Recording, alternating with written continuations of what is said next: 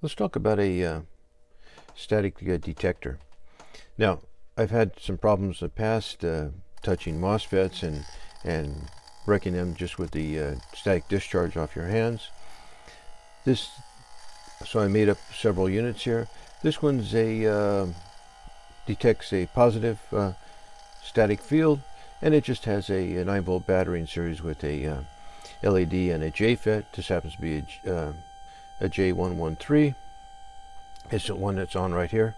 And this one here is a uh, p-channel MOSFET in series with a uh, um, LED now I think I burned up my MOSFET a while back so this um, I should put a resistor in here. And uh, and then this here I made up a little um, this is an astable astable multi-vibrator. I've got a, a uh, this JFET over here and uh, we'll we'll talk about how this thing this thing works. You can hear it right now, but see if I can shut that off. There you go. So if I plug this one back in, let's see if it works. So I have a uh, a balloon here, and there it goes. If I bring the uh, negative charge close to that one, it turns on this one. And you can hear that one going on over there. There we go. That one's working. So um, those those all work. I'll, I'll take that off. Let's get rid of that noise there too. Okay. Now on these uh, this 555 timer here um, I'm using it as a uh, astable multivibrator. And here's here's a spec sheet here. And we just have um, R1 and R2 on here.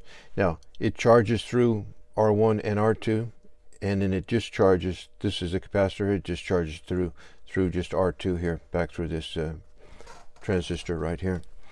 Now in the uh, in the spec sheet they give you this number here, this 0.693, okay? And this uh, 0.144 here to, to calculate the, uh, the frequency of this 555 timer.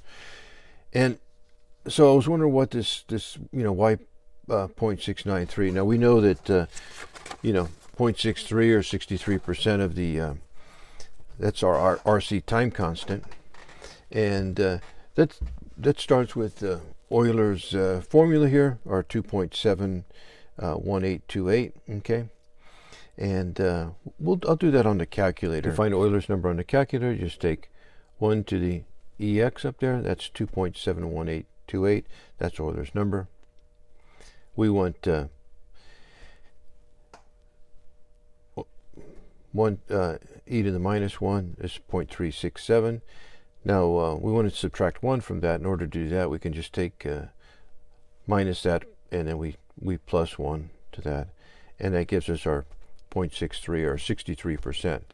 So your RC, your uh, resistance times the capacitance, uh, gives you the time it takes for the capacitor to rise from your 0 volts up to 63% uh, uh, of your source voltage. And that's where this Euler number comes in. So so we know that uh, the resistance times the capacitance is going to give us the time that it takes for the capacitor to rise up to 63% of our voltage source. Now, on the 555 timer here, they give us this number here, this 0.693 number, okay? And the reason for that is that this when this capacitor charges to two-thirds of the voltage source, this terminal 3 here will turn on, and when it discharges down to one-third, this turns off. So instead of going from 0 to 12, in this case I have 12 volts across here, instead of going from 0 to 12, it goes from 4 volts to, to 8 volts here. Okay. Now, if we take this uh, 0.693 number here and we put it into uh, Euler's formula over here, I'll do that on the calculator. All right, here at the calculator, let's take uh, minus 1e. Okay, gives us this number here.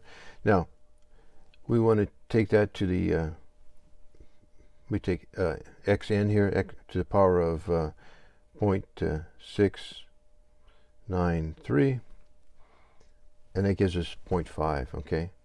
So we're going to take that 0.5 times our, our 8 volts. It comes out to uh, 0.5 okay? So if we take our voltage is going to turn off our two-thirds volts here 8 volts and we multiply that by 0.5 it gives us 4 volts. So it the uh, 0.693 is the time it takes for the this capacitor to charge up from two one third to two thirds voltage okay? It that would be in our case it's four volts and it gives us the time it takes to rise four volts okay? So this is the number we use and this 1.44 and that's just because we uh, we, we want our frequency so if we just take the reciprocal of that and it comes out to 1.44 so that's how the uh, the 555 timer works and that's why we use these uh, these numbers here instead of our normal 63% uh, anyway um, this uh, this thing's going to work pretty good. I'm going to uh, this is just kind of a prototype and I'll refine that a little bit and uh, use it as a uh, uh, static uh, detector on my on my bench top here. So thank you